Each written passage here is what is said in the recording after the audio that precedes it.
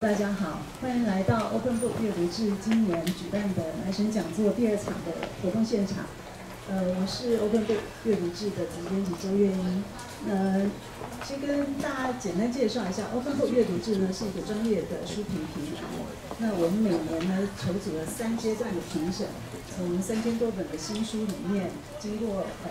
一波一波的遴选，会分为四大类，选出全部四四十本的好书。呃，这个年度好书呢是献给所有读者读者的。那在年度好书呃那个评选呃，我们的年度好书呢，今年预计在十一月三十号会正式的公布。那在正式公布之前呢，我们呃正式公布之后，我们同时这些书会在全台的实体书店、网络书店进行展售。然后全国全呃全台湾有五百多家的图书馆也会陆续推出年度好书的书展，所以到时候非常欢迎朋友们那个采购呃不是去购书或者是到图书馆去借阅。那在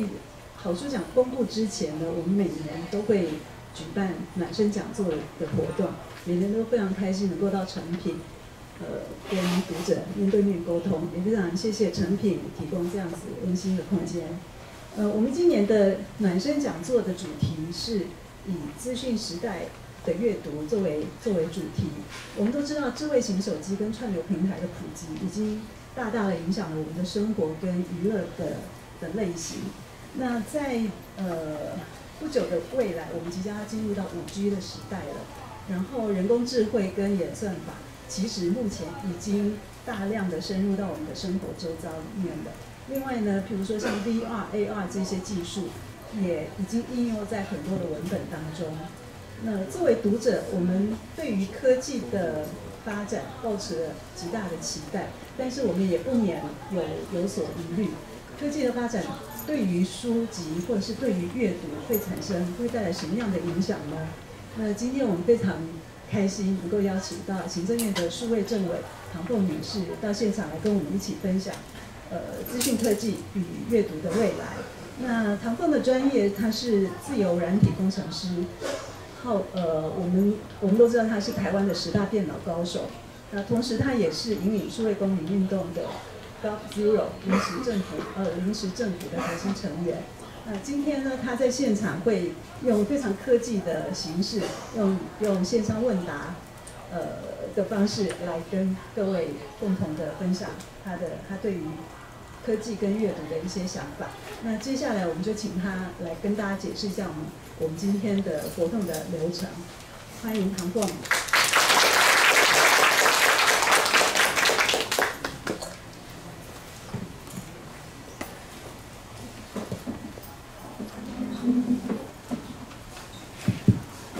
大家好，呃，非常。高兴能够来这边跟大家分享。那今天活动的流程，其实这个演算法非常简单，就三句话就讲完了。第一个就是大家可以扫 QR code，或者是如果扫不到 QR code 的话，可以进入 Slido.com，然后输入零一一一三井号，不用输入就可以进入这个提问的空间。这是第一句话，有点长。那第二个是说，在上面呢，大家随时都可以用匿名的方式来提问题，因为呃如果举手发问的话，我们知道可能一次只能一个人讲话，那匿名就可以呃大家。随时想到什么就问什么，这是第二个。那第三个是说，如果在上面看到问题，你也想要问的话，就按赞就可以了。那赞的数量越多的，越会浮到最顶上，浮到最顶上的就会及时的更新在这个投影屏幕上面。那在这个上面，我就会知道说，目前一共有零个朋友，呃，也觉得这个问题很有兴趣，所以请尽量呃按赞啊，两个朋友了哈。那所以在在这样子的情况下，我会按照大家按赞的数量回答最新的问题，会跑到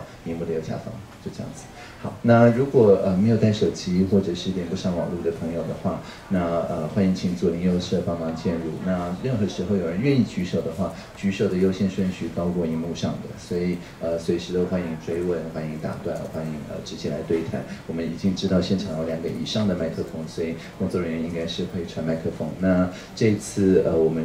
跟以前一样，都是会全程呃录影，然后事后放在 YouTube 上，但是录影的角度只有这样，所以呃就是如果你举手发问的话，你的个子不会受到这个人脸辨识等等的呃这个问题啊，这个都要一开始要续名的。好，OK，那所以以上就是今天的结构，还 OK 吗？那我们表定到大概九点二十分左右，大概有一个多一点小时的时间，呃跟大家对谈，那就欢迎现在大家开始踊跃的提问跟按赞。好，那已经马上就开始有很多的问题冒出来了，那我们就开始吧。有八位朋友们想要听说，哎，AI 深度学习、VR、AR 游戏这些未来的科技会跟阅读有怎么样子结合的一个可能性啊？呃，我们要了解说，AI 其实不是未来的一个科技，AI 是一个很古老的一个科技。呃，有自动化的时候，其实就有 AI，所以 AI 已经跟我们在一起大概，呃，至少四十年了，呃，一说三十几年，但是差不多就是至少这么这么久的时间了。从我小的时候，刚开始学城市设计的时候，当时就已经有在教 AI 的书了，所以其实 AI 是呃时间非常久的一个科技。那 AI 我自己是把它理解成叫做 assistive intelligence，就是辅助式的科技。我们在工作上面有任何部分觉得嗯不想做，因为太冗了、太麻烦了，或者是说呃它结构太简单了，我在做的时候没有主观的成就感等等的这些事情，那 AI 的目的就是说把工作上面这些环节能够把它自动化。那所以其实 AI 在呃就是阅读的这个体验里面有已经非常多的应用。那举例来讲，像呃有一个叫做呃 recommendation engine，就是大家如果在 Amazon 或者其他的上面买过书的话，你大概买到第二本，大概第三本，那他就会开始说，哎，很多买这个书的人是这两本一起买的，那你要不要两本一起买？就算你不理他，他底下也会开始冒出很多，哎，那你之前看了这些书，我觉得你应该接着看哪些书？那即使你还不理他，他就会说，哎，那你不要写点评语吧？你一旦给了他评语，他就会说，哦，这个跟你相似。似想法的人有很多，那你要不要加入这个阅读圈啊？这个 Goodreads 啊，什么东西？那你如果即使还是不加入，他还是会赶快推送这个最新给你看的书。哎，好像有互相可以参照的部分的书到你的 Amazon 的首页。总之，你大概逃不了 AI 了。在 Amazon 的呃整个逻辑里面，它就是透过 AI 来分析你的阅读习惯，然后试着引导你呃进入一个有类似的阅读习惯的一个社群。那这个 AI 的技术的运用，现在当然都是运用深度学习。深度学习的意思，呃，就是说。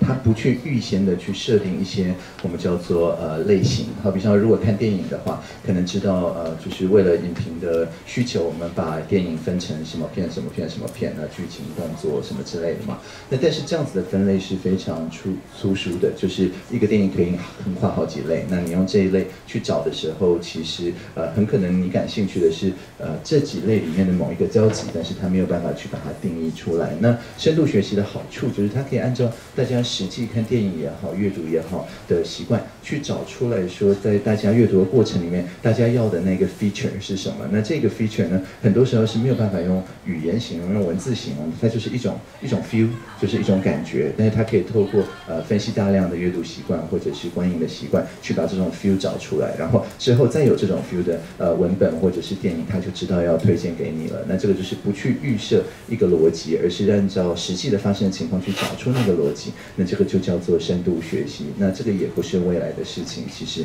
大家只要在用 Netflix 或者是在用 Amazon，那呃也是每天都有的事情。所以我想讲的就是说，嗯，阅读它是一个呃相当。呃，sequential 的一件事情，就是我看这个，然后我看下一个，我看下一个。但是呢，呃，我们现在看到的对 AI 深度学习的应用，大概都是希望说这个跟你更更 relevant，就是让你更减少那种你看了几页之后就觉得啊，我正在浪费我的时间的的这种感觉。那而是说，哎，你每一次在看以前都已经觉得说啊，我就大概已经知道说我接下来要怎么样呃去期待这本书，然后跟这本书可以有更多的互动啊，甚至跟一起在看。这本书的社群可以有怎么样的互动？可以说是阅读慢慢的把它的游戏化的部分把它提高，把它社交的这个部分提高。那这些都是老生常谈，意思就是大概是大家每天的日常了，也不是未来的事情。那 VR 跟 AR 当然现在也是日常了，只是说它跟阅读这个行为目前还是两回事。就是当我们在用 VR，像我自己在用 VR 的时候，呃，我大概就是为了要呃，就是共同出现在某一个空间。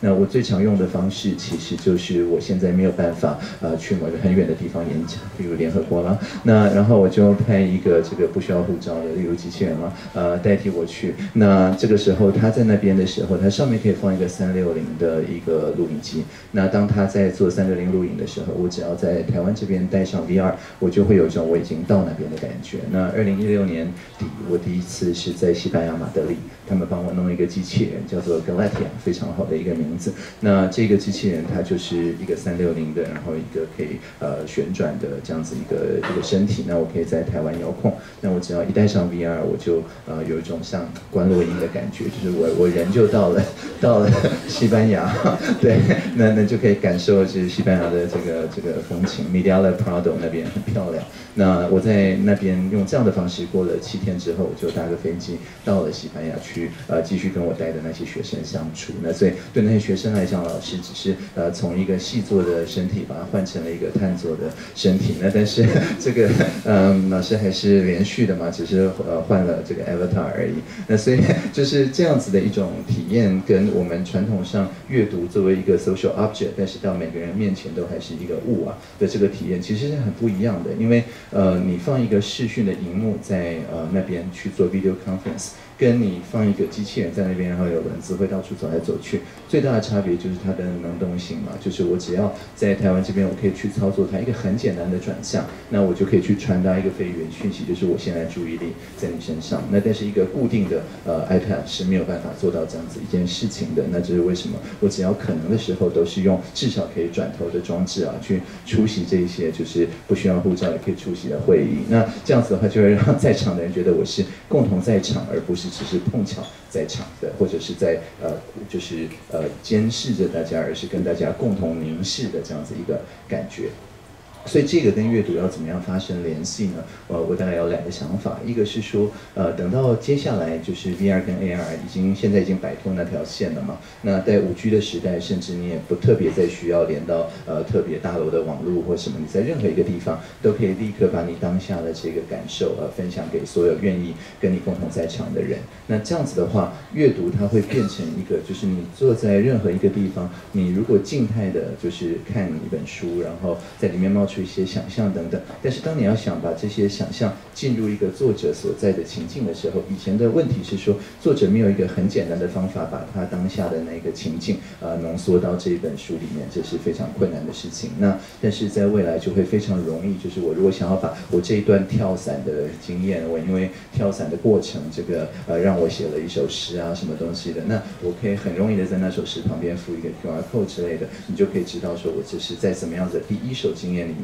去呃行行做出这样子的一个感觉。那至于这样子一种呃，就是马上切换到作者的第一视角，到底是会让呃阅读变得比较呃适合人跟人之间的沟通，因为你跟作者真的比较有话聊。还是它会呃局限想象力的空间，像我这个看了《魔戒》那本小说的英文版之后，我就不是很想去看翻译。那看了翻译，勉强看了翻译之后，我就不是很想去看电影，因为我不是很想我的想象力被局限。那这个我想是每个人的呃学习状态以及他呃观赏文艺作品的状态的不同。只但是至少有这个选项，我觉得对于大家更了解作者到底在干嘛这件事情，其实是蛮有帮助的。所以我会觉得说，可能就是文本还是。比较轻便，比较轻巧，让我们可以了解到说大家感兴趣的东西。但是后面的这一些，尤其是非语言讯息，在以前因为数位的技术不够快，频宽不够大等等，所以必须要呃丢失的这些部分，那之后可以很多的这些机理啊、纹理啊，可以被放到这个阅读的体验的里面。那这是我一点想法了。所以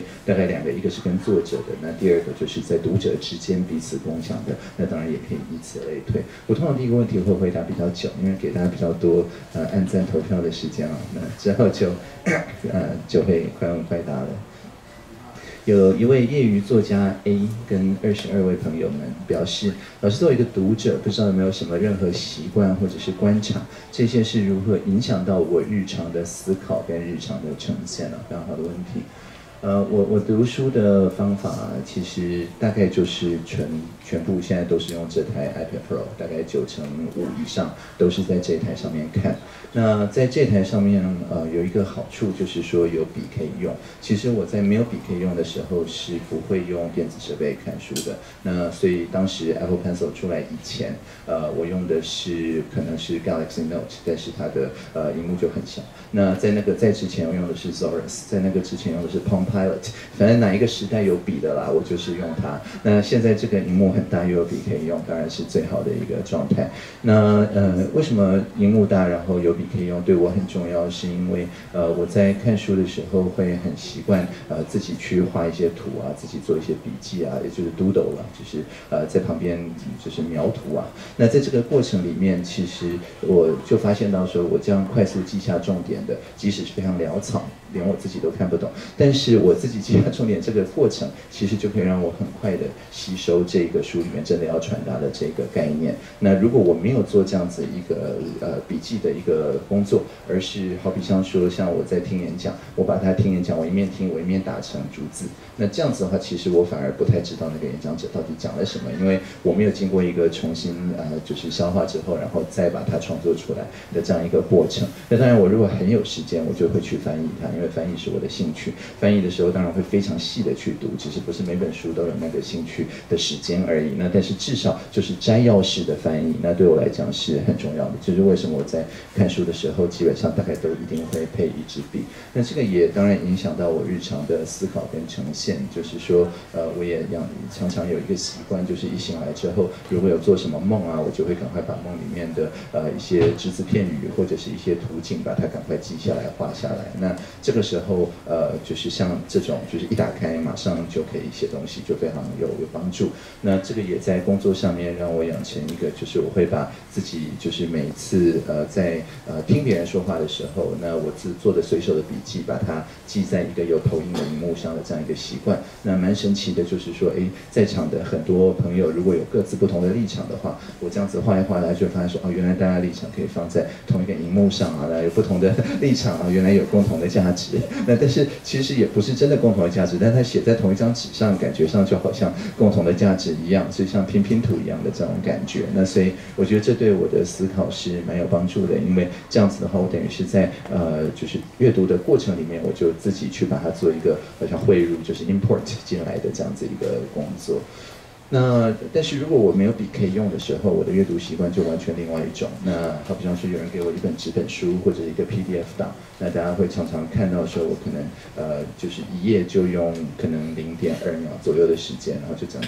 然后就就翻过去，就好像扫描机那样子。那就是我就是在脑里留下它的这个视觉讯号，但是我完全不去在脑里把它念出来。那如果你不把它在脑里念出来，其实任何人都可以看得很快。那但是就是这样子看完之后，等于跟没有看是一样的。那所以 我这样子快速的翻完一本书之后，哎，我就会去可能稍微泡个茶，稍微休息一下，然后闭上眼睛。然后闭上眼睛的时候，在脑里那些呃呃图片就开始浮起来。浮起来的时候，我再开始真的去阅读它，就是有点像批次处理。然后有领略到什么的时候，我再呃就是拿一支笔把它记下来。所以如果有一个好比像说呃每天要开会，但是我有四百页的文件要看，那这个时候我就会在睡前把这四百页都翻过，然后就去睡觉。那醒来的时候，哎，就看完了，是非常的 非常的省力气的，就是就是征收自己的睡眠的时间、做梦的时间，拿来这个理解，就是大量的参考资料。那这个当然也是呃，其实还不错的一招了。那如果呃就是四百页以上的，好比五百页、六百页，那我就得加班嘛，就得睡九个小时或者睡十个小时，才会醒得过来。但是醒来之后，大概都会有一个呃，就是比较贯通的一个见解。那这个就需要赶快把它记下来。这样，所以这大概是我的阅读习惯了，并不是说推荐给大家，就是完全分享个人体验而已。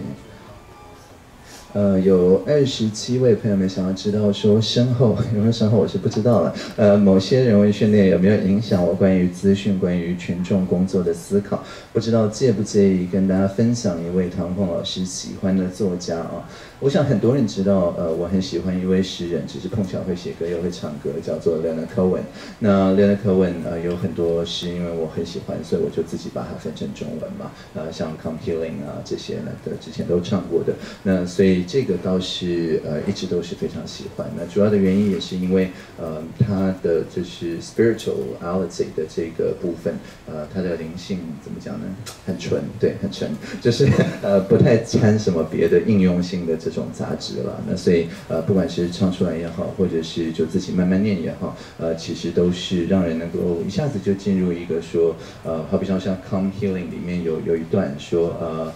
uh, longing of the branches to lift a little blood, uh, longing of the artery to purify the blood。那我是把它翻成说，呃，枝枝丫的渴望是把嫩芽提拔，动脉的渴望是把血液净化。对，那那像这个这两个很简单的意象，那很快的就可以把呃，不管是正在很缓缓的在处理某件事情，你要等时间让它自然收成，或者是很激烈的，就是你马上要呃开始一个群众的运动等等。那但是一下子就把它提升到一个好像这是自然万物、植物跟动物这两种道理的的这样子一种境界。那用这样子的方式在想的时候，就不会被这种一时一地的东西所困住，而是觉得说，哎，呃，从有植物开始，从有动物开始，哎，一向都是这样子在做这件事情。所谓道法自然嘛，那这样子的话。其实就不会觉得说，哎，好像呃自己很孤单，或这件事从来没有发生过，或怎么样，而是在一个很长的这种历史感的感觉底下去 去处理很多事情。那所以呃，我觉得像这种呃诗的工作其实是很好，因为我们在进行平常像这位朋友问的资讯工作跟群众工作的时候，其实你脑里面能够再放得下文学作品的平宽也没有很宽了吧？就是说你在临阵在那边背浮士德啊，就不是很容易。那但是这种。很短的，就是两三句就可以放得下的这个一个呃一个推文的一个长度，这个绝对是放得下的。所以在这个时候，就是稍微提醒自己一下，其实就可以在心里面创造出一个空间来。那一方面我们说倾听嘛，就是被当下的这个状况影响慢慢倾斜；但是二方面你在心里留一个空间去听它。所以我觉得这种比较短的，然后比较哲学式的，然后比较不带有一时一地的应用的，对我来讲是呃就是比较会融入到日常的生活。那如果有一大段时间的话，那当然才能去去看这种就是比较需要呃时间去直接进入那个作者的世界去消化的这些作品。嗯，有二十七位朋友呃二十四位朋友们想要问小安的一个呃问题，就是说有没有哪部作品或者是观念呢，是认为是不会因为时间变化而过时的呢？哈哈哈。嗯，我我我觉得，我觉得哈哈哈这三个字是非常稳定的啊，就是 应该是不会因为时间变化而过时啊，就是只要还有还有这个呃人类，就是我们这个笑的反应啊，应该就是一个非常稳定的，就是在如果有看过那个 Inside Out 呃的话，就是就是乐乐嘛，Joy 呃的的这样子一种态度，呃，尤其这又是一个就是嗯表表声文字啊，这个应该是应该是非常非常完整的，所以。呃，我是觉得小安就是提出了一个非常好的这样子一个例子，就是一些很基本的这种召唤，就是哈哈哈，呃，这样子的一种召唤，它应该是不会随着时间变化而过时的，而且很重要的是它可以跨越文化的桥梁，你不管到哪里都是哈哈哈哈。那这也就是为什么我的简报呃基本上嗯就是我在很久以前我也是会写很多字的那种简报，那后来就发现说很多字没有要看就。拆成很多张简报，每张几个大字啊。那但是呢，后来又发现说，呃，随着我到不同的环境，像我之前呃前一站在伊索比亚，我刚从非洲回来呢，礼拜六要去鹿特丹，然后去柏林。伊索比亚之前我在大阪，然后在之前在布宜诺斯艾利斯。那呃，所以所有这些地方都有不同的文化、不同的语言等等。那我到每一个地方就要开始去翻译我写的这些英文或者是中文成在地的这个语言。那我要找到一个我信得过的译者。我对翻译是非常。非常要求的，所以在这样子的过程里面，沟通成本非常非常高。所以慢慢的，我的简报就只剩呃什么呢？就只剩 emoji，emoji 就是颜文字啊，就是大家会用的表情符号。那为什么有表情符号放诸四海而皆准啊？跟这个哈哈哈是一样的。如果有看过 Arrival 那个电影的话，就会知道说是一些呃用水墨画画表情符号的外星人降降落了地球嘛。那他们就是一大堆圆形的表情符号，那也是非常的放诸四海而皆准，因为不受。那个文化阅读方向或时间的影响，所以像这种 timelessness 就是他抓住一个很基本的，就是人的呃反应或者情绪。那那第二部分就是他呈现出来那个方法，又不是绑在特定的一时一地。那我觉得像这种东西，包含表情符号，大概就不会因为时间变化而过时。所以如果想要嗯达到一个不朽的创作的话，可以试试看全部只用表情符号来创作，那应该是可以这个历久而弥新了。好，嗯。有二十五位朋友们想要知道说，可不可以分享一本我的年度好书？惊叹号！惊叹号！惊叹号！惊叹号！好想知道老师今年最爱看哪本书？波浪号不一定要呃二零一九出的也可以，大于号、小于号、左括号，拜托选我惊叹号右括是一个很喜欢用标点符号的朋友呢。嗯，我我我是呃可以分享一本书，我们就随便随便开听懂吗吗？嗯，大家就可以看到我最近在看的书，那就可以看到我。还没有看完百分之三的，呃，其实这个不是很公平，因为这本书的平装版就是黄色的，在左上角的，跟它的精装版就是在中间的。精装版我已经看完，呃，就是平装版只是多一篇序而已，那篇序我看完了啊。那所以其实我是看完了，就是左上角那本 Radical Markets。那我我是觉得这本书还蛮不错的，我我被这本书感召到去跟这本书的其中一位作者一起创业去了，所以我们还为了这本书就是去去年。年底。呃，就是我去跟全序部问说，哎，我们呃当公务员的朋友，就是包含事务官、公务员服务法，说我们可以不领钱就担任呃国内的非营利组织的工作，可是完全没有写到国外的。那魔法所无知限制，它在办法层级有一个限制，就是必须要国内登记的。那我觉得魔法所无知限制就要来挑战一下。那呃，但是全序部完全没有任何抵抗，就说没有我们搞错了，所以国外的也可以啊。那所以我现在就是呃，同时是呃。就是西班牙的 Digital Future Society 跟呃。纽约的就是这位 Glen Wild，他创的这样子一个基金会，叫做就是 Radical Exchange，呃，激进改变基金会。那基我会翻成基本的基啊，因为是 at the root 嘛，最根本的改变。对，那激进改变基金会的宗旨就是去推广 Radical Markets 里面的很多思想。那这个思想其实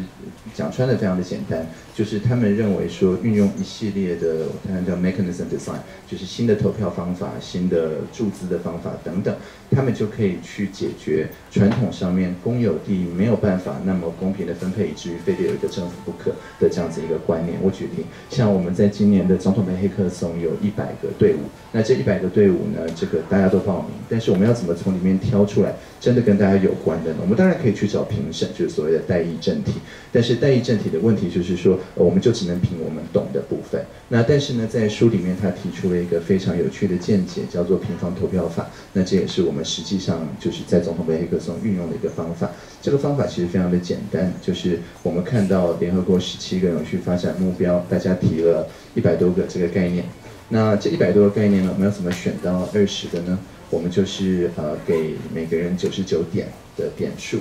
那这个九十九点的点数呢，是任何你在我们 Join 平台，我们知道 Join 平台台湾两千三百万人已经大概一千万人在使用了，所以其实是一个很大的一个平台啊。那在这上面，任何人都可以去领到九十九个投票点，然后他就可以看这一百个案子里面到底哪一个让他觉得比较呃值得来做。那我们知道传统上办这种投票，尤其如果你边投票边开票的话呢，那就会有一个呃过度动员的情况。希望大家不记得有一个身份证在设计的投票就是这样的一个情况啊。那在上面就是永远大家会关票给第一名或第二名，第三名以后大家就不太去理了。那这样子的问题就是说，其实这样一开票结果出来，就会至少一半的人觉得自己输掉了嘛。那啊以身份证在设计，就所有人都觉得自己输掉了嘛，因为前两名到最后没有真的变成我们身份证嘛。那在这个过程里面呢，主要的原因就是因为你被动员来之后，大概不会去看别的案子。那 Q V 平方投票法的想法非常简单，你进来之后有九十九个点数，然后呢，你如果很喜欢这个队伍，国土智慧选手队，它是放一个水盒子在这个农地上面，然后可以立刻就侦测到上游到底是谁在呃进行污染，然后我们就会把刚刚好那个污染，而不是它的别的下游的人去断水断电哦，非常应景的一个作品。那如果你喜欢这样子一个作品的话，你就可以投他一票。那一票的话就是要花你一点。那但是呢，如果你真的很喜欢，你可以投他两票。但是两票的话，你就要花四点。那如果你投他三票的话，你就要花九点。这就是为什么叫做平方投票法？那等到你投到他的第九票的时候，你就会发现你投不下第十票了，因为第十票，呃，就如果你全部灌给他，你要一百点才能投十票，但是你没有，所以呃，投了九票之后，九九八十一，你还有十八点。那十八点你不会想要浪费啊，所以你就会去旁边稍微看一下，你就会看到，哎，旁边有一个很有意思的，呃，司法院的一个队伍，他们透过机器学习来解释为什么酒驾有的时候判重，有的时候判轻。哦，原来这个是有一个公式，有一个行情的，他去分析判决说，哎，觉得这个对社会沟通也很有帮助。那你有十六点，呃，投给他，你就投了四票。那这样十八减十六，你还有两点啊，所以你就会在旁边再去看一个案子，然后这个案子就是通过也是机器学习去预先去预测哪一些公司是炸弹或者是掏空。那虽然你不是这方面的专家，但是你看了之后发现，哎，这个好像值得不止一票。那这个时候你就会有这个机会去配票，就是把你刚刚投的这九票收一些回来，然后再投一些过去。所以这样子的概念就是一个诱因设计的一个机制，让每一个人投的每多一票，它的呃就是 marginal return 啊，它的呃边际的效用跟它的边际成本刚好相同。那在这个情况下，大部分人都会投自己懂的，而且是真的是很仔细的去看，就像我们评审一样，花很多力气去看，然后呢去这样子分布去配票。那这样子选出来前二十对，其实就非常好的反映。我们当下大家真的觉得最重要的问题是哪些？那所以只是一个很简单的制度设计，你就不需要有一群学有专精的评审，好像代表大家来做决定，而是任何人呃两千多人参加我们这个投票，但是每个人加在一起的决定，真的差不多就是呃社会所需要的那些。所以往呃就是大政府的角度的必要性的。就是这些大政府左派的朋友们，那看了这本书，常常是有一些阻抗的反应，因为他主张说，你只要有一个把游戏设计的好的话，就不需要大政府了。但是右派的朋友们也会觉得不是很舒服，因为他的主张是说，呃，所有的这些嗯资产啊，所有这些东西都只不过是呃这个社会暂时给你的的就是独占权而已，所以他是完全反对占有，而是希望是都是使用权的。所以只要大家透过类似平衡投票法的方式。那就可以去把一些右派觉得最基本的，包含财产权啊等等，呃，都是加以重新调配等等。所以它是一个同时就是呃撼动了左派跟右派的一本书啊，《经济学人》呃年做去年吧的年度选书。那所以我我是觉得非常有意思了。那所以它这里面介绍的几个观念，那刚刚。平方投票法只是其中一个，那其他还有什么共有自评税啊什么之类的，大概都是呃透透过同样的这个想法去做出来的，所以大家就不用特别去吵说，就是两个人要分蛋糕的时候怎么样子才公平，到底是要都找一个呃统治者来帮大家分配呢，还是说这两个人透过呃自由市场交易彼此拉比呢？其实你只要引入一个一个人切一个人选嘛，呃一下子都解决了嘛，所以这就是机制设计的的意思。对，那他这张 property is monopoly，他所倡议的思想就是呃照价申报、照价征税跟照价征收，刚好是我们这个孙文思想，所以这也蛮有意思的，就是平均地权条例里面的基本思想。那最大的差别就是说，能够照价售卖的不是只有国家，而是所有人都可以照价售卖。那这样子一套做法也已经放在像以太坊啊这种区块链上面。那这个当然是呃非常呃实用的意思，就是说如果你要呃下一次有有什么同学会、理事会、呃学生会要一起做决定的时候，其实平方投票法要呃放进来是非常容易，每个人都有提案权，每个人都有一些投票点数，每个议案你可以赞成或反对，然后赞成或反对的票数，呃就是正数或负数的票数，反正就是收那个票数的平方的点数嘛。那其实这个一讲就通，所以其实是非常容易呃去引入的。那这也是是我们现在我的兼职，对吧？就是在院长和可之下的这个兼职，就是在全世界去呃散播这样。子的呃有一点危险的这种思想啊，好，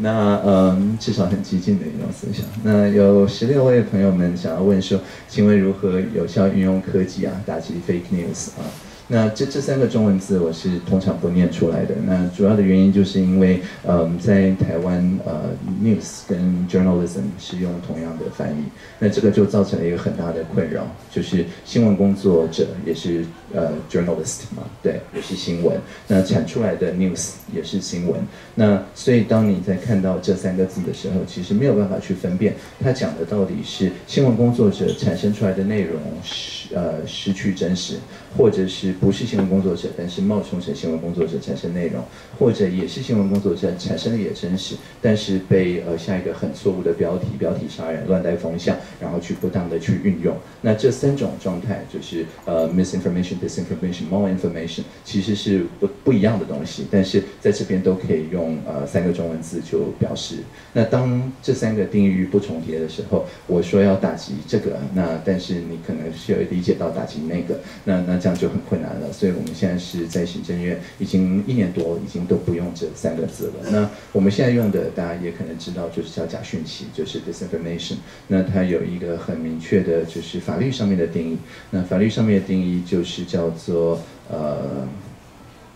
叫做这个。就是 intentional harmful untruth，就是故意虚假危害。那这三个要同时成立，我们才会把它叫做 disinformation。那这个危害还必须是真的危害到公众，好，比方说危害到民主制度，危害到大家在传染病流行的时候的公共卫生，而不是危害到呃某一个呃部长的个人形象。那个很可能就是很好的新闻工作啊。那所以在这样子的定义里面，这三个同时成立，它的目的就是说你是很有意的要。危害整个社社群，那去散布一些不实的讯息。那通常在传染病流行的时候，传染病防治法是大家最耳熟能详的一个例子。那我们当然还有很多别的法律，都里面已经有这些定义。所以这并不是新加任何法律，而是在现有的法律里面去重新定义说，因为以前很可能它只有规范，呃，在什么最常见就是什么广告新闻纸啊，什么什么之类的。但是现在就已经没有什么。就是就是大部分广告都是数位的嘛，那所以就会更新这些法律，把数位的部分考虑进去，但是用的法律的理论，用的本来的法。还是呃现有的法律，我们只是把它在数位上面加以补强。那为什么我们选择这样子一种呃很多人会觉得非常呃就是极小化这个法律架构的策略？就是因为在台湾，我们的言论、集会、结社等等自由是基本人权。那按照 Civics Monitor，我们我呃最近才跟他有个 interview，今天刚上线啊。那他们的观察报告就是台湾是我们附近的所有管辖领域里面唯一一个没有因为 disinformation 的关系，而让一个部长或政委讲的话，呃，突然间就大过于新闻记者讲的话的，在所有旁边的管辖领域里面，大家都觉得天赐良机，所以我早就看这些新闻记者不爽很久了，这是一个很好的机会，去让这个部长有能力去纠正新闻记者啊。那但是在台湾这边，因为我们很多人都还记得戒严的时候没有新闻自由是怎么回事，所以我们就会采取的策略，就是在完全不影响到一个部长跟一个新闻记者的相对言。论权利的情况下去解决这个假讯息的问题，这当然比较困难，但是也这也让我们在解决的题目可以可以去呃不要说卖了，就是可以去适用到呃跟我们有一样价值的，就是好比如说嗯就是澳洲、纽西兰或者是加拿大或者是欧盟等等，就是这些不在我们附近的管辖领域，他们在 Civics 上凡是亮绿灯的这些区域，或者是日本亮淡绿的这些区域，那我们所做的跟他们就是一个很天然的一个盟友，就是我们在。想的方法大概都是一样的。那因为十天的关系，今天不是探讨这个的 seminar，所以我大概就非常快速的带过。一个就是说，呃，我们要运用叫做呃民营工程学嘛，mimetic engineering 啊，就是让每一个澄清的呃图。跟文字在六十分钟之内出来的时候，它本身都很有梗，它的有机的传播可以大过那个谣言的传播。那这个是第一条防线，每一个部会现在都被要求在四个小时之内。那大部分对就是呃大众比较有感的那些部会，就是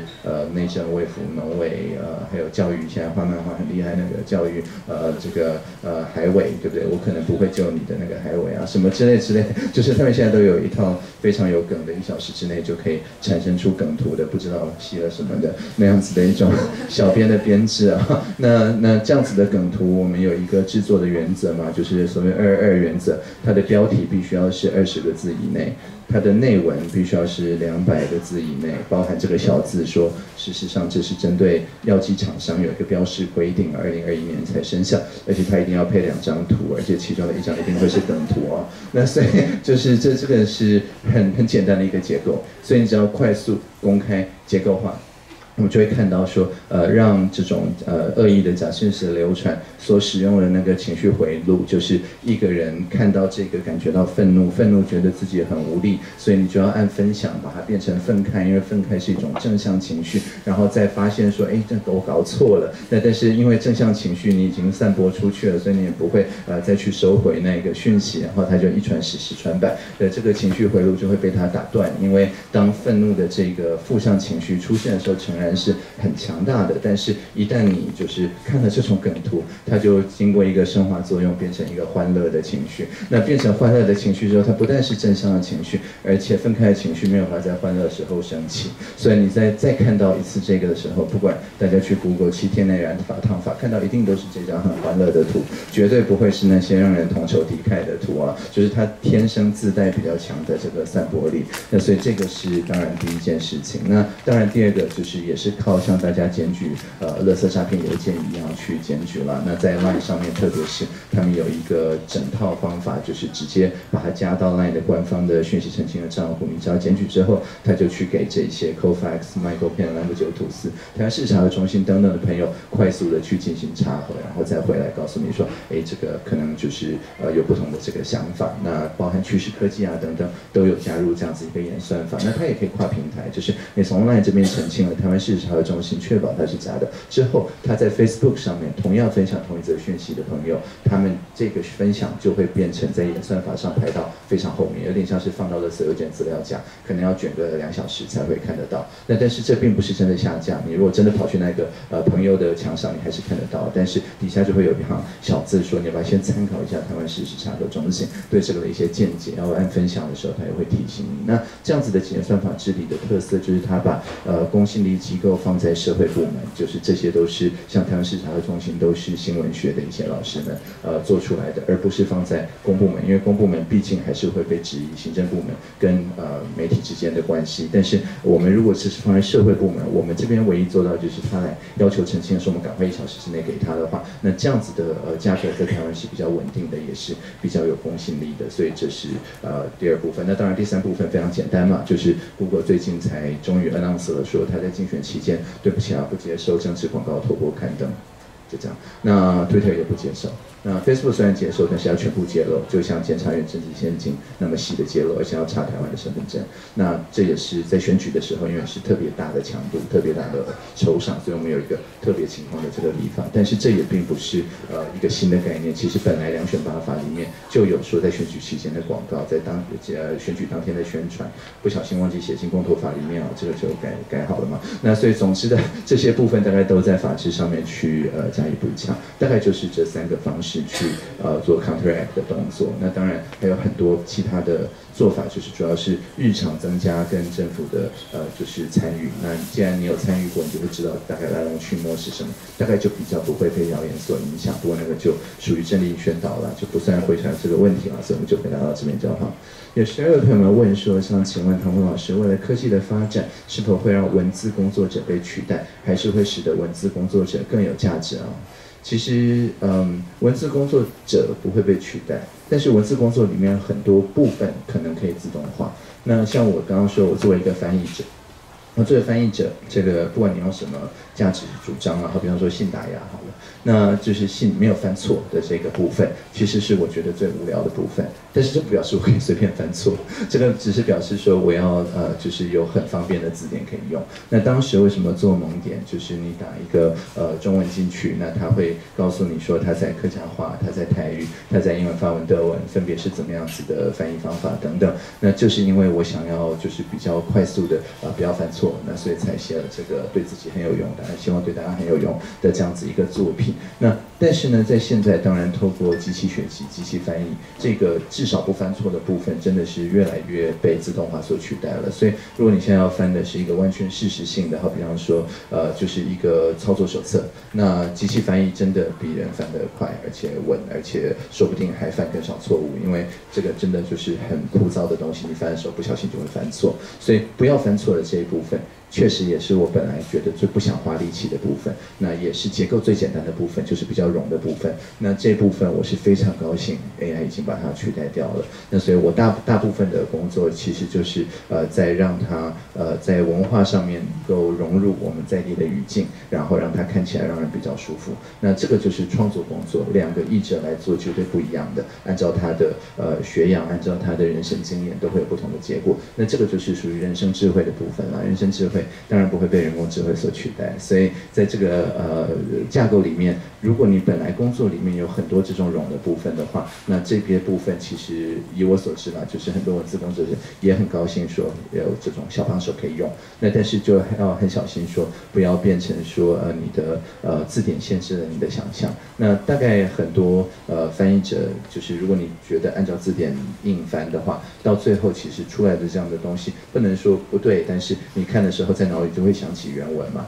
那但是就是你要试着把它融入在你的语境，这件事情是需要花时间的。那这个以我所知，就是目前并没有一个很简单的 AI 去把这一部分自动化掉，所以这个就是我们现在还在花很多心力去做的事情，就是呃比较像文化工作，而不是文字工作了。那这一部分我觉得是越来越有价值。我之前在苹果在 Siri 那个 team 做了大概六年的 consultant，那 Siri 那个 team 常常呃要呃雇的人就就是诗人，那他要求的就是有几年的诗学创作经验了。那但是这个是很重要，因为 Siri 它尤其是像在现在 HomePod 或者是 AirPod 这这样一种应用上面，它真的只有你短短几秒钟的注意力。那这个时候它要言简意赅的告诉你它的内在状态，而且还要让你能够就是很有道理的进入下一个询问，而且还要 on topic。而且如果他觉得你呃就是对他出言不逊的时候，还要让气氛缓和啊，这些都是非常困难的。那并不是说在英文他们好不容易写出一个剧本组写出一个梗，我们在中文这边就自然就可以用，绝对不是这样子。所以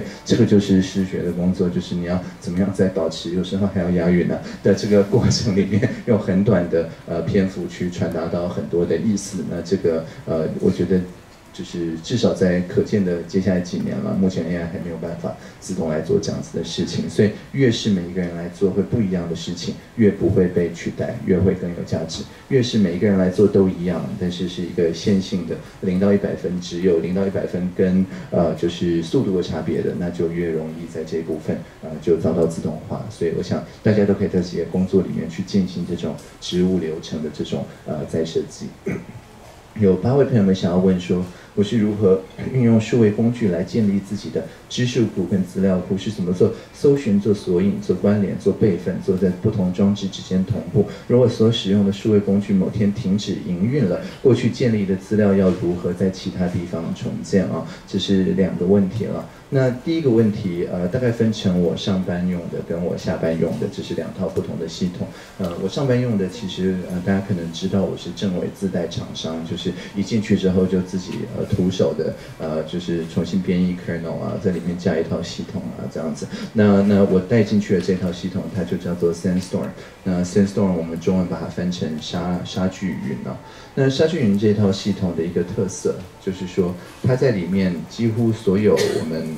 我们可以看到，我是这个当初有出钱也有出力啊。好，就是这票人，呃，所做出来的，它完全是开放原始嘛，所以我们就是装在呃，就是自然处已经集合过的中华建新专门帮政府所建立的，跟其他的机柜都不相混合的。呃，网络路由也是走自己的，就是一套这个 government cloud，就是政府专用云里面。那在这个里面架的这套系统，大家可以看到说，我们常用的很多城市，好比像说共用的试算表、共用的文字编辑、共用的聊天室、共用的看板啊等等，都有在上面去使用。那我们呃可以看我们到底最近到底都在做哪些事情的话，就可以看这个看板啊，逐字稿是放在 CodeND 里面啊，然后呃其实。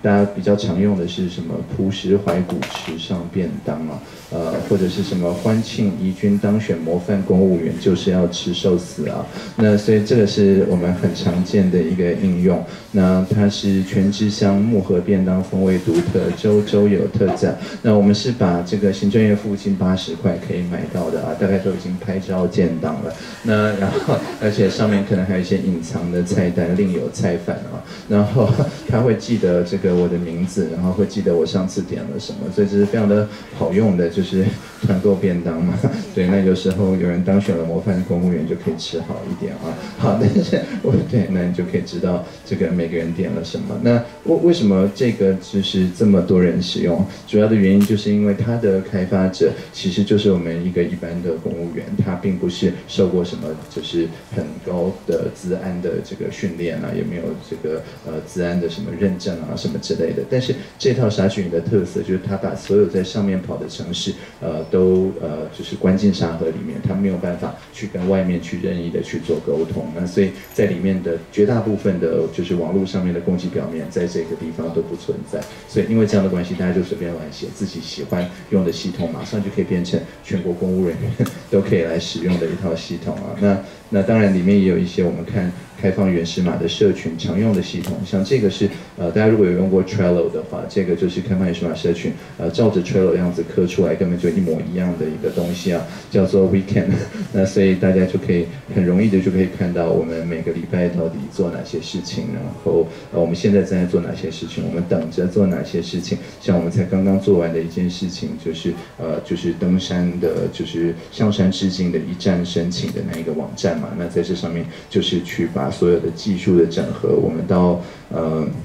这个过程里面，我们到底去。呃，最后上线到 Hike 的那一个网站到底长什么样子？然后以及如果大家放大的话，我们跟林务局、跟警政署、跟营建署等等等，等，到底要中间怎么沟通？那里面到底有哪些成员正在做哪些事情啊？大概都可以在这边一目了然。所以这个就是我工作的系统。那在工作系统上面，这一位朋友的问题就非常好回答，因为他不会停止营运。呃，只要各位还继续纳税了，他就会呃继续在营运。那就是呃，在这个呃机房里面。其实它呃只要呃国发会跟中华电信还存在了，这个机房就会继续存在。那又因为它的技术完全是开放原始嘛，我们也不用付授权费，所以我们如果插了什么功能，我们就自己改一改，就把它改进去了。所以像这样子一种就是呃开放源码的应用，其实才比较接近当初自由软体的这个初衷，就是我们呃在公务的时候使用，但是我们改了，只要觉得哪些地方好，哪些地方不好，甚至我们请白帽骇客一开始来渗透测试，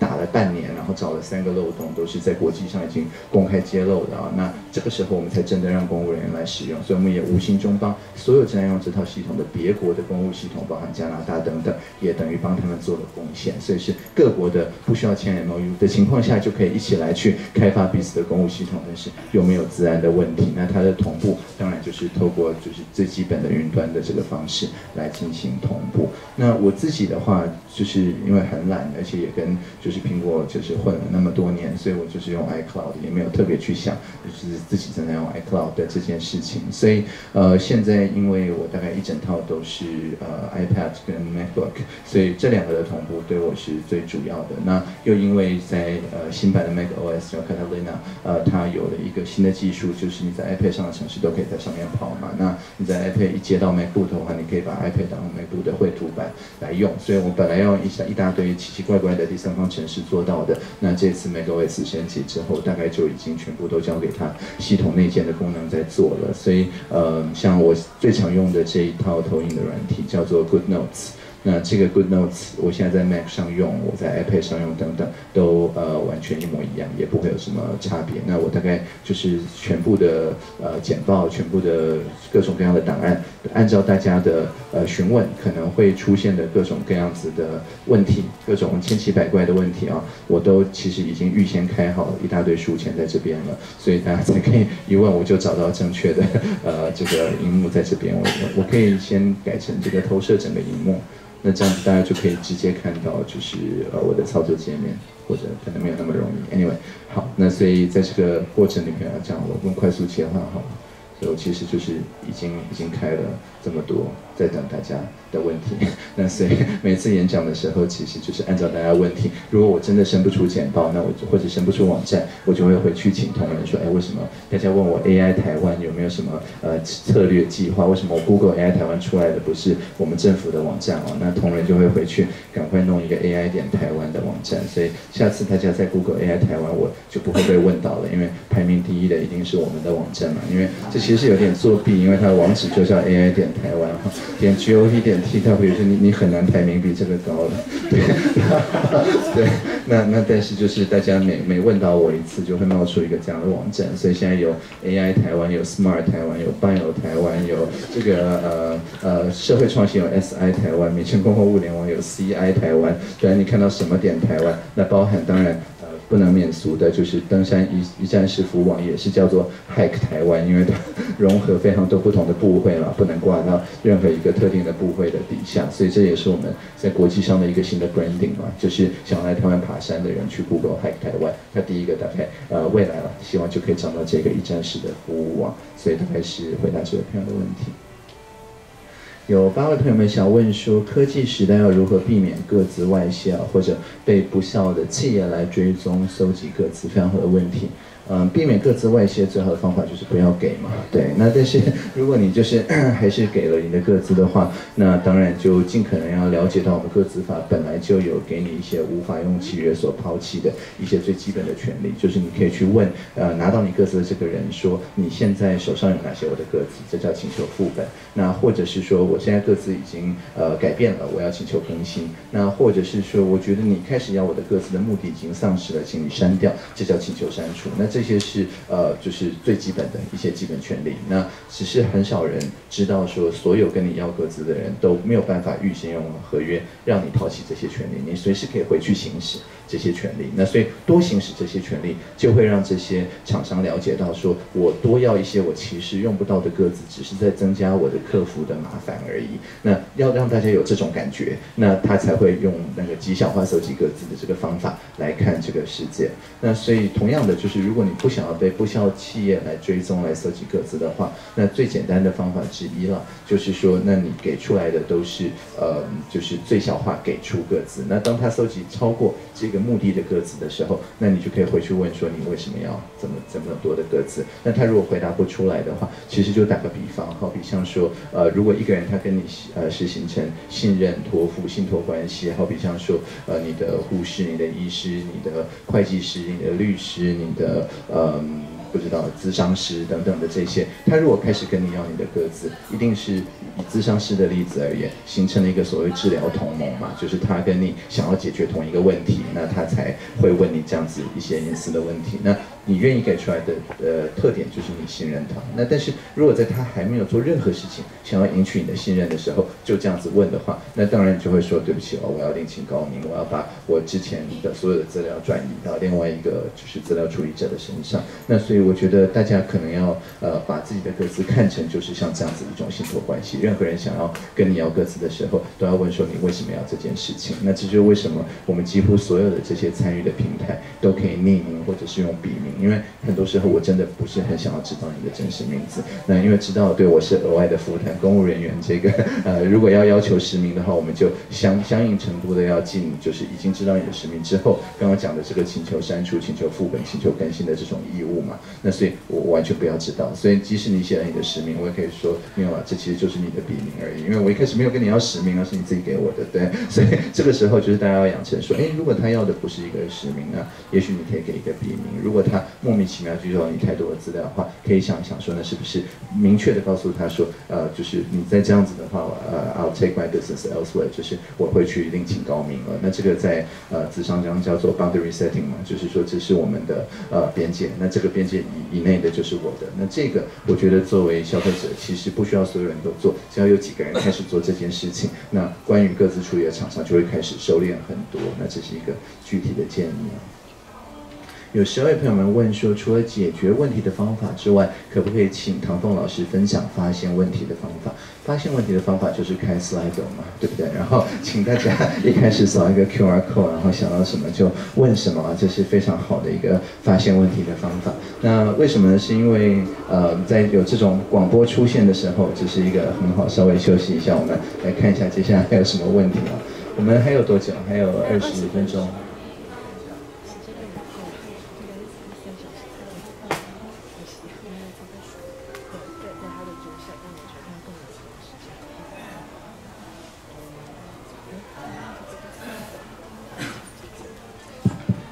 就不长篇大论好了，因为问题数量真的蛮多的，所以我就稍微呃，就是节奏快一点点。呃，发现问题的方法很简单嘛，就是嗯，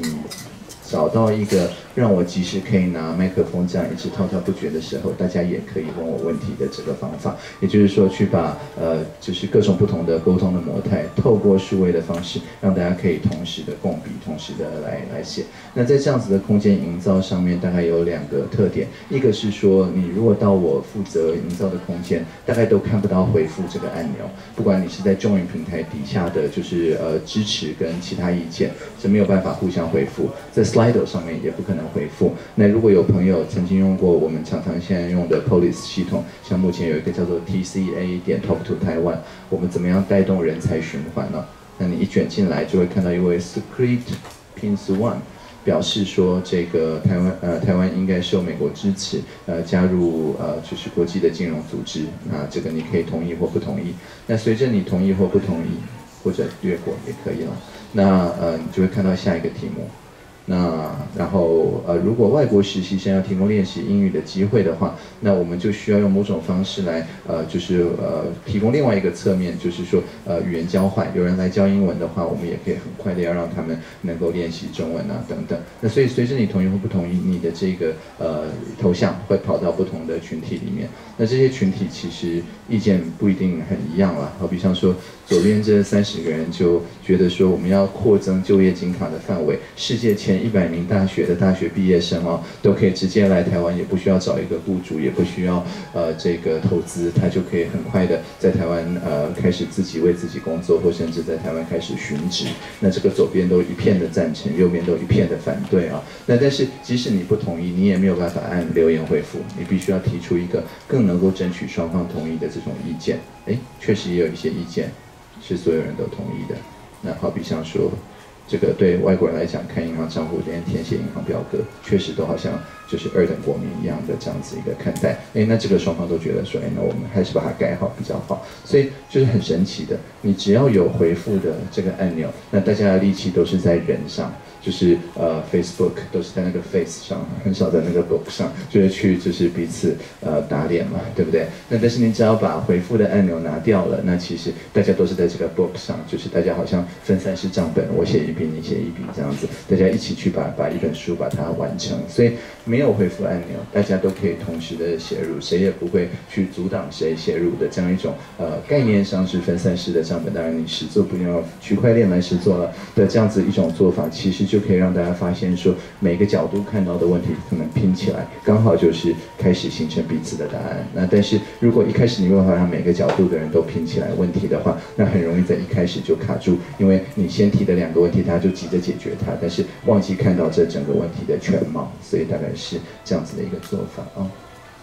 有十位朋友们想要问说，数位政委的一天工作都会做些什么啊？这要看他是一个礼拜里面的哪一天。好比像说礼拜三，那我就是在呃社会创新中心，这是我的办公室，给大家看一下啊。那它的地址是仁爱路三段九十九号。那我们现在正在拆围墙，之后可以直接从路上走进来，完全变成一个公园。不过它附近已经有一个大安森林公园了，中间隔着一个建国花市啊，所以呃，它接下来就会变成这个徒步区的一部分嘛。在就是之前空总嘛，现在是呃文化部的，就是当代文化实验场的一个角落。那这个空间有一个很很开放的一个特点，就是任何人只要在做的任何事情跟联合国有序发展目标有关系，那你就可以免费用这个。场地来办任何活动，所以我们随时都可能同时有三四个活动在发生。那因为它跟其他政府直营的场地最不同的，就是它每天都开到半夜十一点。那而且有一个厨房，然后咖啡厅、厨师常常做一些分子料理等等。那开到十一点的好处就是活动结束大概就像我们嘛九点半。那九点半在很多场地大家就就是做鸟兽散。那但是在我们这边大家就会留下一起吃东西。那所以就是三四个不同的兴趣的朋友们就会发现。哎，自己真的有一些相同的地方，所以我每个礼拜三从一大早到晚上，大概都在这个地方。那任何人都可以来找我聊四十分钟的话。那这四十分钟的话，当然大家要同意一件事情，就是这四十分钟的话，经过十天的共同编辑之后，啊，必须要公开上网。那所以大家就发现说，我在当呃数位政委之后到现在大概三年的时间里面，我一共跟四千六百六十五位朋友讲了呃二十二万五千零两百句话啊，然后呃一共在大概一千零五十四。个这样子的一种呃会议的场合里面，那所以呃基本上是非常非常具细民意的。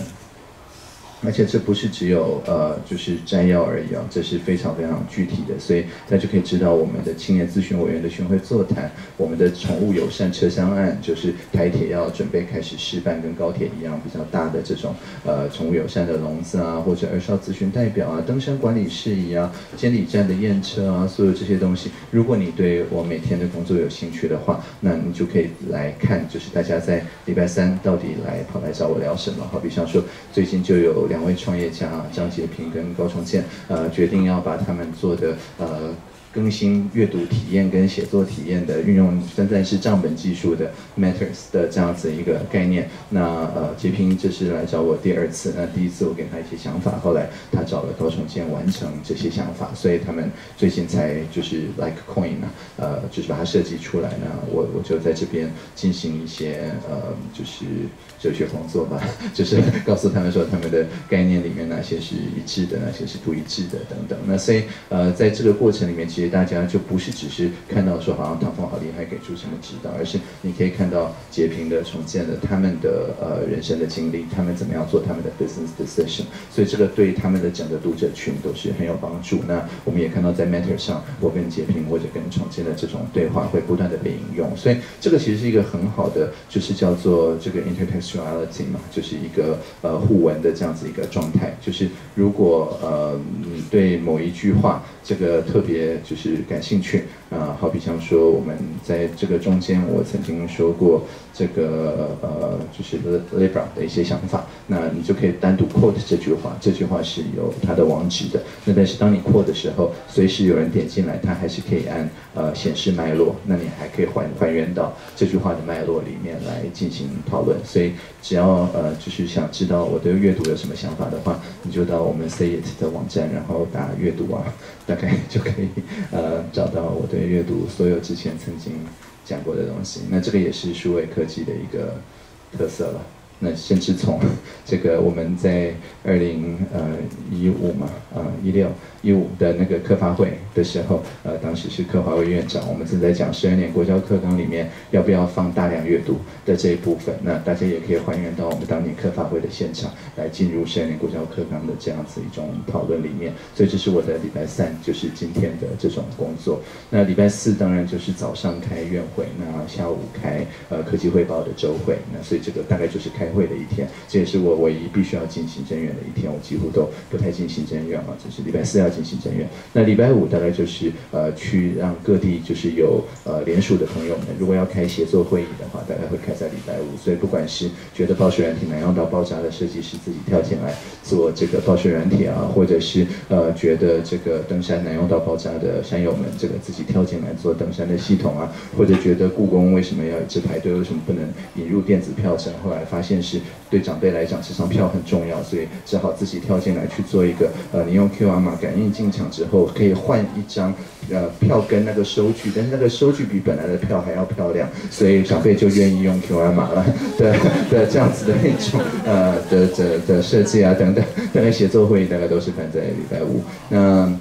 礼拜六那大概就是一些就是课外活动啊，就是一些为以二唱自己的理事的身份，或者是以总之不是公务员的身份会去做的一些呃宣传的活动。那礼拜天是陪家人，那礼拜一的话就是我们的 team 就是 p i t i s 大家一起吃午餐。那吃午餐我就把刚刚那个看板打开了，然后每个人讲一讲自己最近做什么。那大部分外交的代会也会排到礼拜一去。那礼拜一晚上我常常就跑到不同的地方，因为其实我在。虽然说礼拜三大家可以来找我，但是我就发现会来找我的人都住在高铁站附近，那这个其实是很不公平的。就是在在高铁真的环岛之前，那个可能要等很久了。那只是对高铁没有到的地方啊，其实真的很不公平。所以后来我就养成了一个习惯，就是我礼拜一晚上就会去到一个高铁呃不太去的地方，然后在那个地方就开始跟当地的朋友们呃做社会创新的一个巡回座谈。那这个座谈很有意思，就是我们任何青年咨询委员，就是我们十二个社创相。部会每一个大概都有两个三十五岁以下的青年，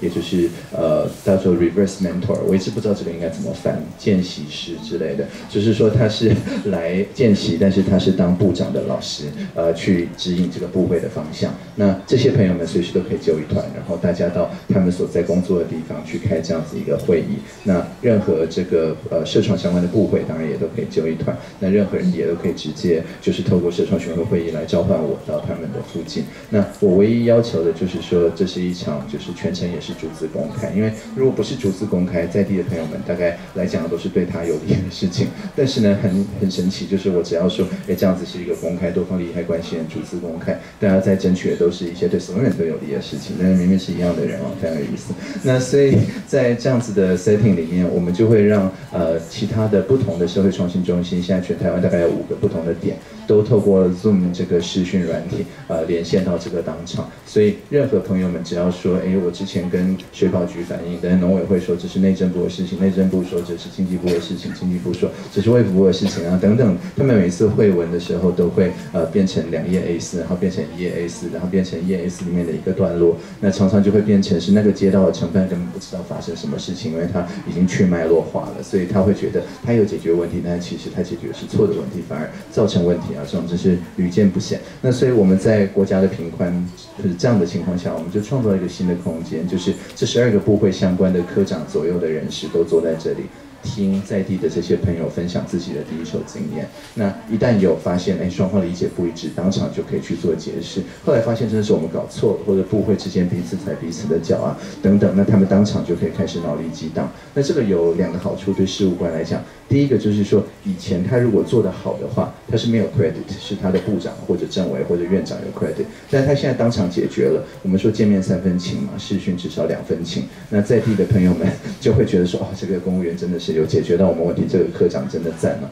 那第二个就是就叫立即的回馈 （instant gratification），立即的快乐。那但是第二个就是说，如果他做砸了的话，那传统上他是就是会给他的上司惹麻烦的。但是现在呢，因为只有我在现场啊，其实所以说在地的朋友很愤怒的话，啊，都是我的问题，就是都是我要吸收风险，因为你没办法隔着这个荧幕做什么嘛，所以就是我要承受全部的风险啊，所以我就要用高超的主持技术来确保自己就是不会不会。遭受什么太太不好的事情？对，那所以 呃，透过这样的方式，我帮他们吸收风险，但是他们有 credit。其实我们就发现整个公部门都非常的创新，那是透过这样的方式，不断的去循环，去解决很多朋友在地的问题。所以如果大家。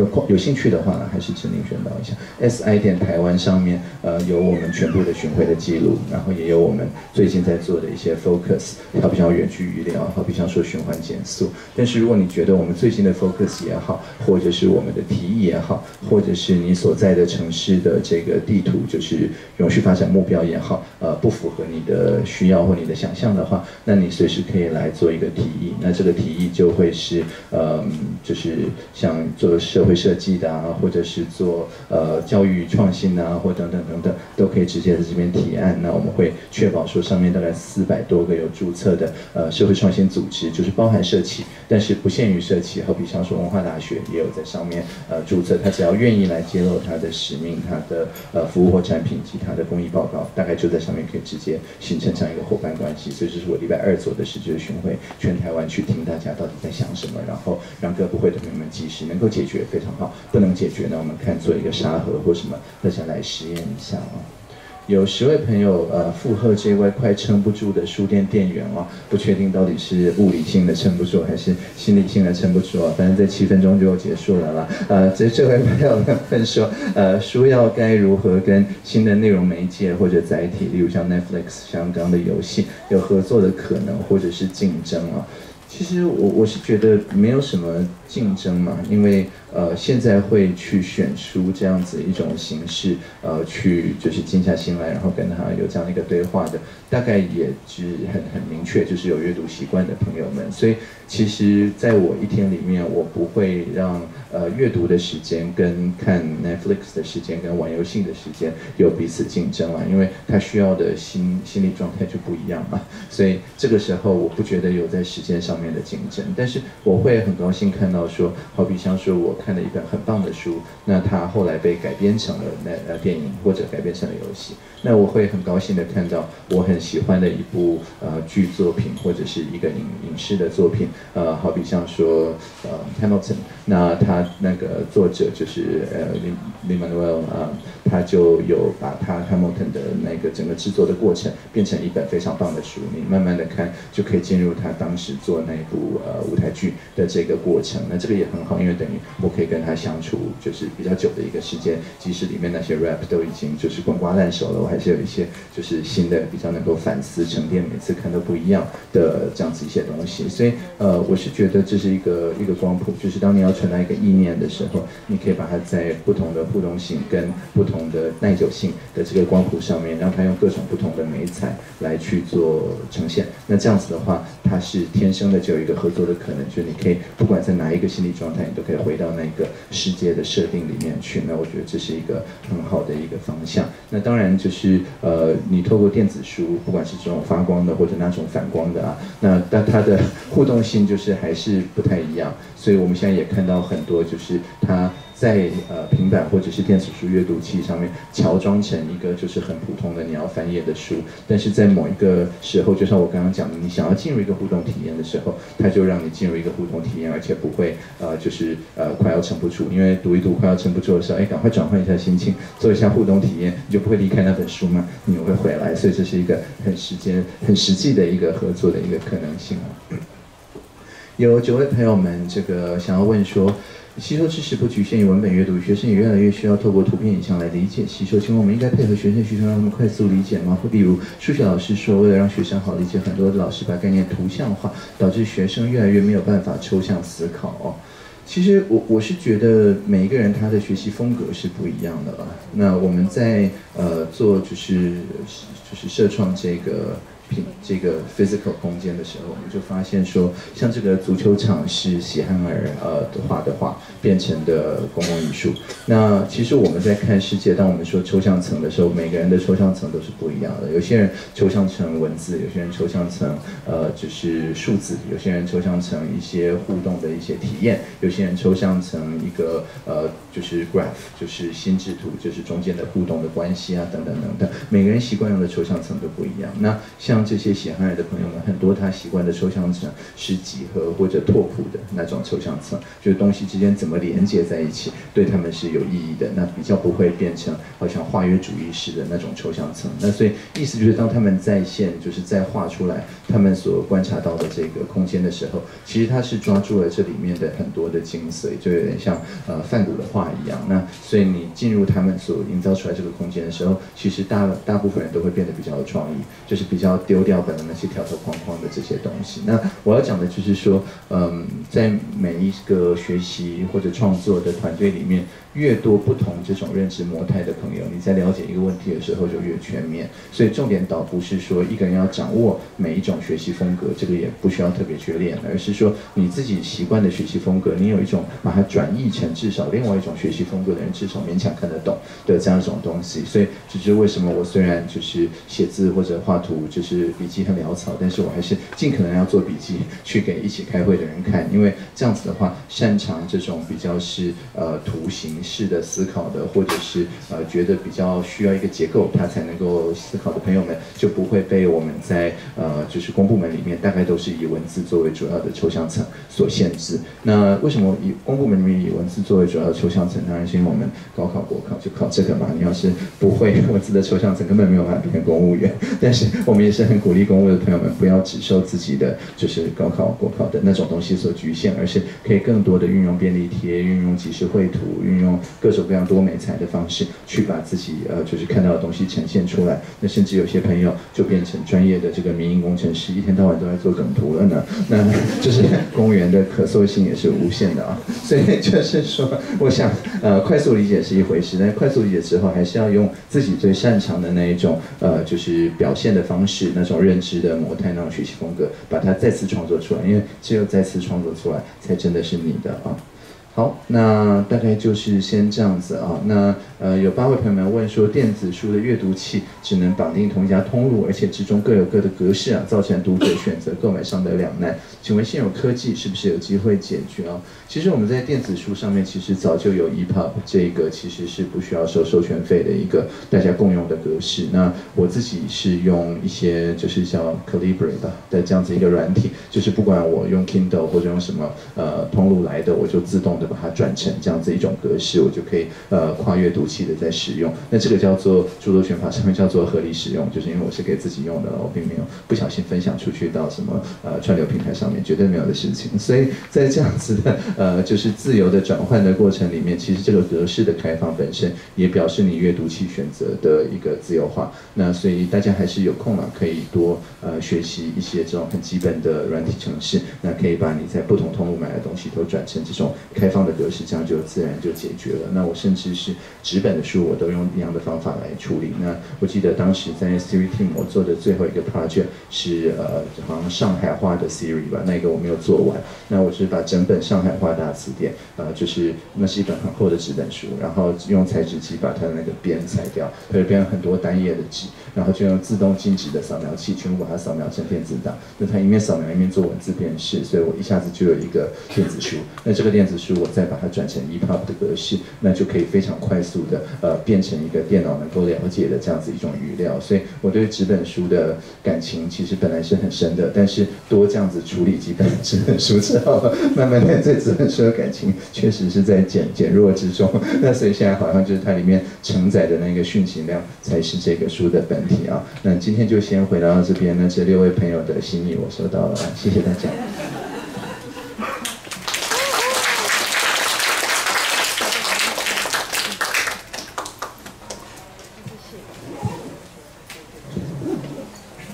嗯，谢谢唐凤政委。我晓得现场的诸位是不是跟我一样，在这个一个多小时的时间里面，感觉遭受到了一个资讯爆炸的的这种强烈的呃轰炸，或者是一个强强烈的冲击。那在这个一个多小时的的时间里面呢，我们接收到了非常多的讯息，也从唐凤政委这边呃学习到了很多。他跟我们提到了包括 AR、VR 的一些现有的应用，然后当然还有一些更多的未来的可能性。那他也跟我们分享了他个人的一些阅读习惯，他为我们推荐了他自己喜爱的作家，也推荐了他自己阅读的的书籍，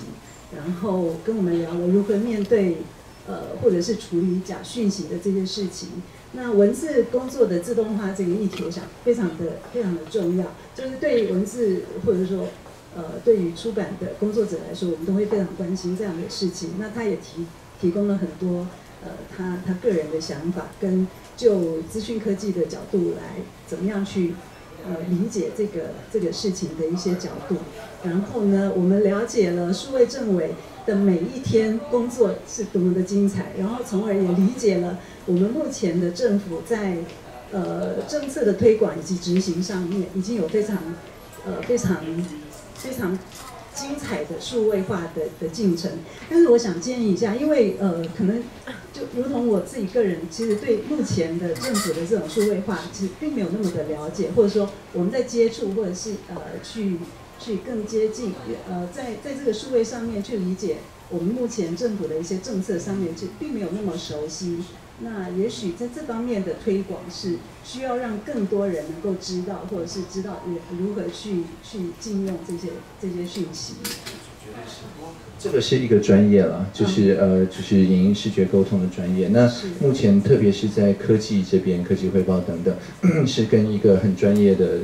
叫智七七七嘛的这样子一种呃频道在合作，所以 他最近好像阻挡啊，可能要就是送个什么花篮给他之类的。那但是呃就是这个可能没有办法瞬间就在公部门里培养出来，所以目前还是跟这些专业的工作者们一起合作。是，但我们也也乐意见到未来有更多的民众或者我们的国民都能够善于。透过资讯科技的方式跟政府进行沟通，或者是了解到我们政策的某些面向。那最后呢，我们也在呃最后的抢时间的状态底下，了解到那个唐凤政委他对于阅读器以及对于对电子书的一些想法。综合了这么多的讯息，我想呃，这个就是我们我们目前在看待电子呃呃阅读的书阅读跟时呃跟这个资讯时代的一些各各种的可能性。那呃，因为我很难做做结论，因为这个就是一个一个全方面的资讯。总之呢，我想呃那个各位可能在今天回去之后都还可以有非常。非常强的呃非常长的时间需要去慢慢的消化，或者是慢慢的再去思索，呃其中的相关的议题。那这些议题呢，如果一时之间，因为同盟政委的语速非常的快，所以我们也许在接收上面没有，有时候没有办法跟上他的进度。但是不用担心，我们在下个礼拜一，呃今天的这个录影的的现现场的录影，以及我们在相关的文字报道上面，都会同时在网络上面公布出来。那也欢迎现场的朋友把呃那个这这场活动的资讯也分享给其他的没有到没有办法到场的朋友。呃，今天还是非常谢谢各位莅临现场。那我们在下个礼拜呢，还会有我们暖身讲座的第三场。第三场呢，我们是要求呃邀请到剧场导演王家明跟编剧简丽颖，他们即将为我们对谈从平面到立体文学改编剧场的相关的讯息。呃，非常欢迎大家下个礼拜再度到这边来参加我们的活动。那我们最后再谢谢唐默政委今天特别来今天的支持，谢谢大家。最后我想邀请各位。